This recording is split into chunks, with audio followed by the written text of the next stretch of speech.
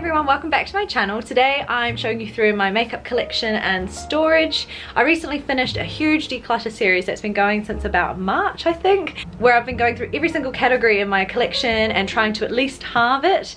I think I ended up on average probably getting rid of nearly 60% of my makeup in total. Some categories I did way more, others I only did 50%. So I think in total it's somewhere nearing 60%. It just wasn't fitting in this apartment. I felt like I was never using my makeup because I would open drawers and they'd be packed and I'd be like, oh. I feel like now I've gotten to a really good place. If you want to see the declutters, I'll have it linked in a playlist below. I've got a bunch of videos to keep you occupied for many hours of cleaning. You can listen to me chatter away in the background. But today I thought it'd be nice to kind of round off this whole thing by just showing you how I now store my collection that it's been a bit reduced and what's left basically. So this chest of drawers is where I store like the bulk of my makeup. That's where makeup lives basically long term. But I do have a little everyday makeup drawer in my bathroom which is where I do my makeup because it's such good lighting. And it's also nice if Alex is still sleeping in in the morning and I want to get ready I can go to the bathroom and turn the lights on and it's just nice to have that extra space. So I have a little everyday makeup drawer in there which I tend to swap out every couple of weeks because I don't like my powdered products to sit in the bathroom too long. It's not very good for them. So I try and rotate products in there quite frequently. But we will start by looking through the big chest as well and then we'll end with going through what's currently in my everyday makeup drawer. So this furniture piece is actually from Ikea and I kind of DIY'd it. I put on some new handles, some gold handles and I covered the front of each drawer in this white fur because the unit comes with like plain wood on three of them and then a weird like glass panel on one of them and I didn't like the way that they didn't match so I decided to just cover them all in fur plus it kind of matches my like fluffy little stool over here on this um, dressing table. Uh, also if you're curious about all the other bits and bobs around my room I think I'm gonna have a house tour coming after this video. I can't quite remember the order that I'm putting things up in because I'm pre-filming all these videos while I'm away. I think I'm currently in New Zealand right now when you're watching this. So let's go into the top drawer here. So this drawer in here is where I tend to keep foundations, concealers, setting sprays, and primers. So these little dividers are from Daiso. I've got some of these plastic ones and then in some of the drawers further down you'll see I've got the kind of foam ones which I probably prefer actually over these plasticky ones but at the back here I have a couple of oh that's a BB cream but he fits nicely there. But I have a couple of setting sprays. I recently finished up my Clinique one so that's why it's not sitting in the here because it's actually finished. Then I've got a bunch of foundations liquid foundations here and yes this is a reduced amount by quite a lot. I had an obscene amount of foundations at one point so definitely culled them heaps. All my little concealers are here, quite a lot of tube and wand sort of styles, and then a couple of like pottle ones that are just kind of hanging out. My primers, these are where my primers sit in these little containers. And then I back here I've got my Tatcha primer because it's kind of big. This is the Milanese primer, a Laneige primer. And these are like BB creams and cushion foundations. So I've got quite a few little Asian ones. This is a YSL one, another Laneige one. So yeah, I love the fact that all of this fits into like one drawer. It just makes it so much easier to like open and I can select myself a primer and then a foundation, a concealer, a setting spray, like it's just really easy. so in the next drawer down, I have palettes at the back. So I've kind of got more like face palettes and then eye palettes.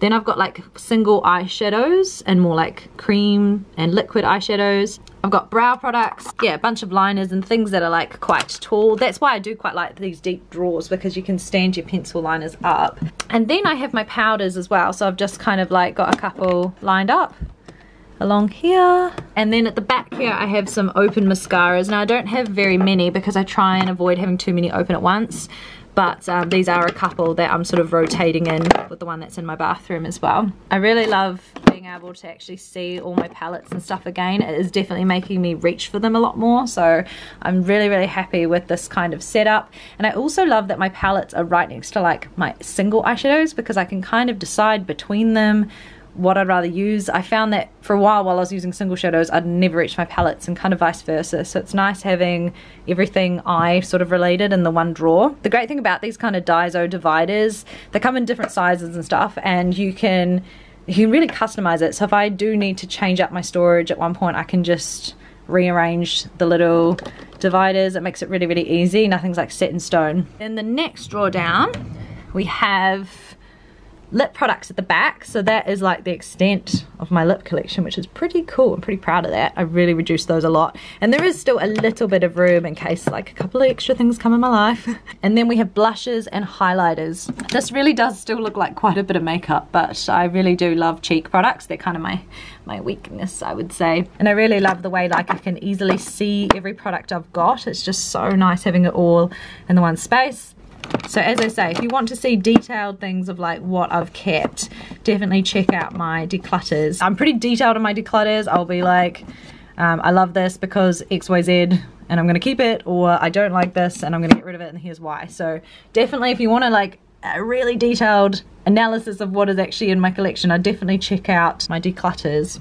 And then in the final drawer, we have bronzers at the back, which again, I would have loved all of those to be in one drawer, but we just don't really have room. So bronzers and stuff are at the back. Then we've got some backup products here. So these are like unopened products. MAC Blankety lipstick, always got to be one of those around. and just things that I'm yet to open and try. I've got some false lashes along here. And then I also have like all my spare sponges and stuff just in this little bottle too. Now these dividers you can see here are the slightly different like foam plasticky kind of dividers and I think I like these a bit better. I don't know why they just kind of slot together nicer. They especially work well for lipsticks so if you want to do like a lipstick drawer I'd really recommend these like foam Daiso dividers. Some of my blushes were like a little bit fat for them as you can see like it kind of warps them a bit but at least they're all really segregated. It like separates everything out nicely makes everything easy to organize then we wander through to my bathroom so over here in the corner is where I sit and do my makeup in the morning. I've got this mirror hanging here. Let's turn a light on it. This building faces towards the east, so I get a lot of nice natural light coming through this frosted window. It acts like a filter. It creates the most beautiful lighting to do your makeup in front of, so that's why I've hung this mirror from the ceiling so it's suspended right in front of where I need my face to be.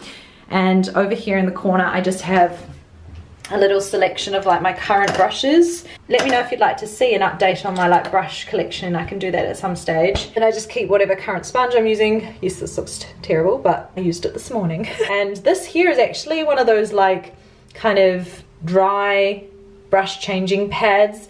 I got this from YesStyle it came in a little plastic container but I actually took it out and it fits perfectly in this little tray which I think is from H&M Home. Just really nice because that way if I'm using a brush and need to like change my colour if I'm doing my makeup, I can just literally be like, and it will like get rid of whatever shadow was on there last and just makes it fresh to use. Not that I tend to use colors other than brown or beige or very neutral colors. It's usually not an issue, but if you are someone that likes more um, colorful eyeshadows, I definitely recommend getting one of those little like color switch pad things. I'll try and link it below the one I got from YesStyle because it was like $4. then I just have like a little Ikea stool underneath that bench, which is like it's literally the perfect bench. I love this apartment so much. So that just sits there and then I get to sit down and do my makeup and that's where I do all my filming for like beauty stuff as well. This is my little everyday makeup drawer. So as you can see, I've put some of those little like foamy dividers in just to keep it somewhat sort of organized so the products aren't just flapping around when I open it. And some of the current things that are in my drawer, what have we got? This is a little DIY cushion foundation with the L'Oreal True Match in it. I've got the L'Oreal Lumi Bronze It in 01. I love that bronzer. Too Faced Blinded by the Light highlighter. That's a little compact mirror my friend bought back from China. so cute. Um, this is my favorite blush at the moment, the Sugar Ball Cushion. It's in the shade 01, which is a really fresh pink. It's really cute. I've got some scissors, which I use for like false lashes and just other things. The Lancome Prep and Hydrate Primer, really enjoy that. I just opened this this morning, the Benefit Roller Lash. I love this mascara. And they kindly sent me a new one which was really nice because I was trying out the Marc Jacobs one the Velvet Noir. It doesn't feel like it used to. I don't like it as much. So pretty stoked that I got this, so I'm using this at the moment. Benefit 24 Hour Brow Setter, some pencil liners. I'm trying to use up this MAC Fix Plus. This is like the pink light version, which I don't think is very different to the original, to be honest, but I'm just trying to use it up. Quite a few products over here that I'm really trying to see whether I want to put into my permanent collection. So this is the Thrive Cosmetics Buildable Blur Triple Wear Foundation the Art Class Liquid Satin number one. This is the VDL Lumi Layer Primer. I was trying out the foundations of this and didn't enjoy the foundation, but I did quite like this primer, so I've been using that. got this wee one, Holika Holika Hard Cover Glow. You'll notice a lot of these are from like Korean and Asian brands. That's because I get a lot of products from YesStyle to try. This is the Double Lasting Foundation. I'm really enjoying this. It's really good. Got some lashes, which I'm actually currently wearing. The Quartz Beauty Jade. These are always in here. The current palette that I'm using is the MAC Prissy Princess palette. This has some really nice, just like basic cool toned neutral shades. I really love this for every day. Using this again, the MAC Mineralized Skin Finish in Light. Go through phases with this one. Uh, I've got a few concealers, NARS Radiant Creamy, as always, e.l.f. Camo. Yeah, and then a brow product. What am I using right now? BH Cosmetics Studio Pro. So that's a little squiz inside my everyday makeup drawer. So if you want to see exactly the single products that I've kept in my collection, go ahead and watch my declutters because as I say, I'm very detailed in them. Let me know as well if you'd like to see kind of regular updates on my, um, like what's in my everyday makeup drawer. I might even be able to do that sort of thing over on Instagram. I tried that in the past with the Instagram TV sort of feature but I didn't really enjoy that because it still felt like I was making like a YouTube video but just for Instagram. But I might be able to just be a bit more casual like go live or something on Instagram and just show you guys through. Um, my Instagram's just at Arna Alayne as well if you're interested. But yeah so that's a little sneaky peek inside my makeup storage and how I've kind of organized it post declutters I'm really really happy with the amount that I have. I still have a lot but obviously this is my job so I need to have a bit of variety in my collection so that I can like do different things different looks and play around with different products and give you guys reviews. But at the same time I was just feeling so swamped and I just feel so much better about how much I have. And if you guys aren't aware as well recently I've been like asking to be taken off a lot of PR lists. Not that I was on many to begin with but there were some that were just sending me products quite regularly and like 90% of the time they were things that I just wasn't actually that interested in and they'd have to be donated and or I'd have to give them to friends and I just felt like that was such a waste of my time, their time sending out the products and also just environmentally it made me feel wee I'm definitely going to be receiving a lot less product in the mail from brands which is good I think, because I'll be able to actually really relish and cherish my collection. But once again, thank you so much for watching. If you enjoyed this kind of video, make sure you subscribe. And until next time, I hope you have a wonderful couple of days, and I'll see you in my next video. Bye!